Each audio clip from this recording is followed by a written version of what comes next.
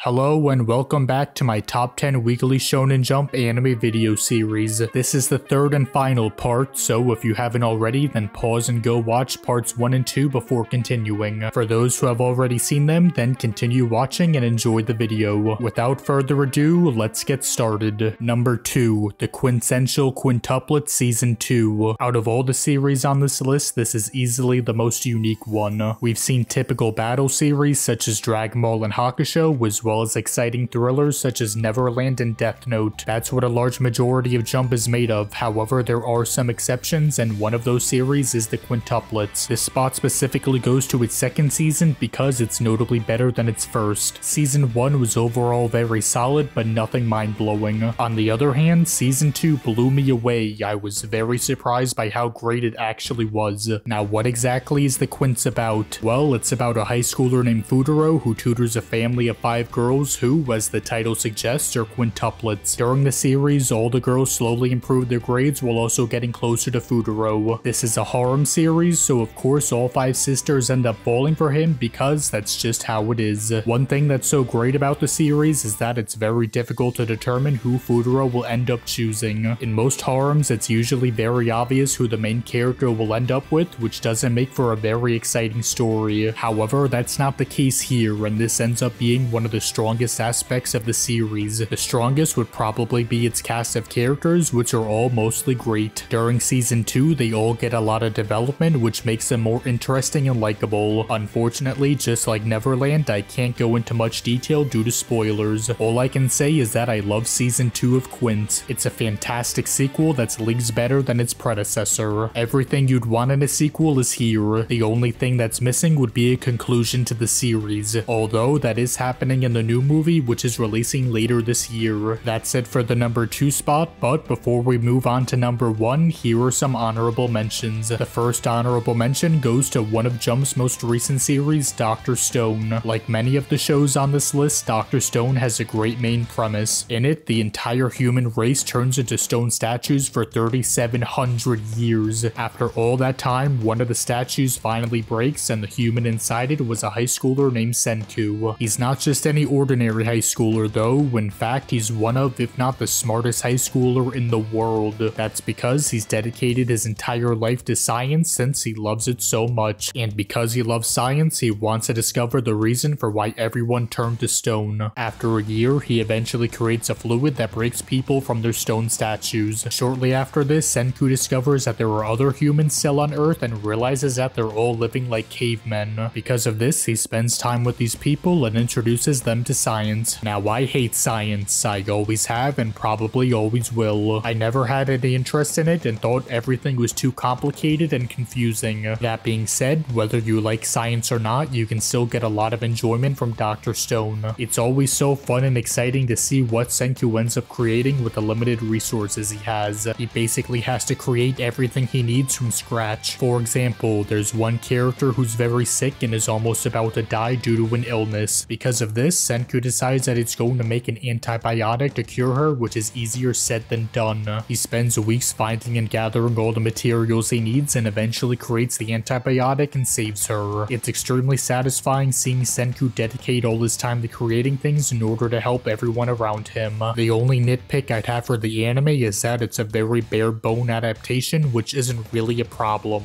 The pacing is fine and the animation is fine too, but there's nothing noteworthy about its production. Like other series, the anime is solely good because the source material is good. Now on to the second and last honorable mention, which is One Piece. One Piece is one of the biggest and most popular series in Japan. Its manga has been running since 1997 and its anime since 1999. At the time of this video, both total at over 1,000 chapters and episodes, which is insane. In terms of total runtime, it's currently the 8th longest anime of all time. That's a mighty accomplishment, but there's also a reason for this and not a good one. Uh, one Piece has been airing and releasing new episodes for nearly 23 years and has been doing so on a weekly basis. Every once in a while, the studio might skip a week due to circumstances, but usually there's been 50 episodes released every single year. Because of this, the quality of the series isn't very high. In fact, it's pretty low. In terms of animation, One Piece is very poor, lacking, and limited. A fair amount of the anime consists of still shots with characters not moving at all, and even if they are moving, it typically doesn't look good either. Sometimes the show can look decent or even good, but that's rare. Most of the anime looks pretty bad, which is unfortunate. The creator, Eiichiro Oda, is well known for multiple things, and one of those is his great character designs. Oda loves taking one aspect of a character and exaggerating it to the extreme. For example, if he wants a character to appear big and threatening, he'll make them huge and leagues taller than everyone else. Because of this, some of his designs can end up looking rather goofy, but that's okay. One Piece isn't a dark, grim, serious story. It's mainly supposed to be lighthearted and fun. This is one of the reasons why these designs are so well crafted and made. Another one of Oda's strengths is his storytelling. For two and a half decades, Oda has been writing One Piece chapters for nearly every week without much breaks. But despite this hardship, he's managed to continue writing quality stories all this time. I've only experienced about half the series at this point, and there's only one arc which I didn't like. And even then, it's not awful. It's just very flawed, kinda boring, and mediocre. Going solely by word of mouth, everything in which I haven't read or seen ranges from pretty good to great. This is mainly why I have the anime as only an honorable mention. I haven't seen half of the series, so I'm just going off of what others have said. I could love the rest of the series, or it could just be okay.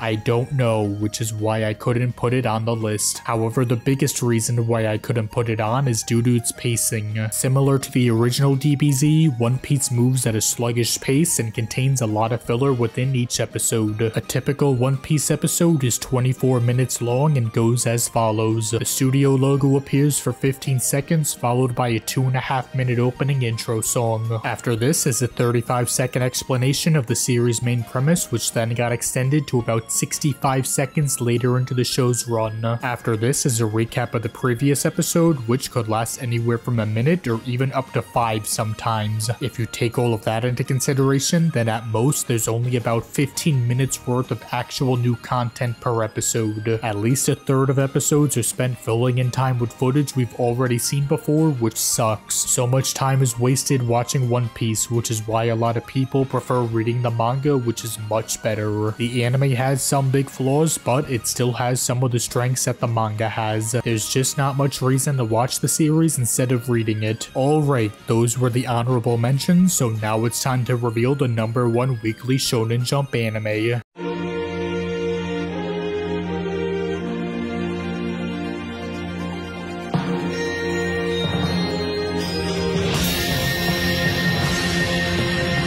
Number 1 Hunter x Hunter 2011. For anyone who's seen a fair amount of anime, this shouldn't be very surprising. A ton of people love Hunter x Hunter, and its 2011 adaptation was critically acclaimed and continues to be seen as one of the best anime to date. Hunter x Hunter was originally adapted in 1999 by Nippon Animation, and it was overall pretty good. It lasted 62 episodes, and an additional 30 OVA episodes were made from 2002 to 2004. After that, the anime caught up with the manga, so the studio just stopped producing episodes since they lacked the material to adapt. Then in 2011, one of the best studios, Studio Madhouse, got the rights and created a 148 episode run of the series. Everything that worked in the original transitioned over smoothly, and some of the problems in it were fixed here too. As mentioned, the original anime was very solid, although it did have its issues. The pacing, while not bad, was also not perfect. Some moments were notably slower than others and there were scenes that could have been sped up or trimmed out entirely. That's one of the biggest strengths of the 2011 version, which is its pacing. To give a comparison, 99 totaled at 92 episodes. 2011 reached that same point at only episode 75. The pacing is fantastic, it's never slow and it's also never rushed or too fast. Another upgrade from 99 is its animation. For its time, the anime looked fairly good, although 2011 looks leagues better. In 99, some of the colors felt washed out, appeared a bit too dull, plus the character designs weren't as good either. On its own, it's still perfectly fine, but now that 2011 exists, there's almost nothing that 99 does better. The only instant where 99 has an advantage would be during its more darker scenes and arcs. The duller colors work better there and help match the tone the series was going for. That being said, it's such a small thing, plus the same parts look great in 2011 anyway. The art and animation in general is fantastic in 2011. It starts out great, but only gets better as it goes on. Not only that, but it's amazing how consistently great the anime looks. This is a 148 episode anime, and every episode looks at worst good. I seriously don't think any of these episodes are poorly animated. It's unbelievable, and I think that describes everything about the 2011 adaptation. Everything you could ask for in an adaptation is here. Tight pacing, amazing animation,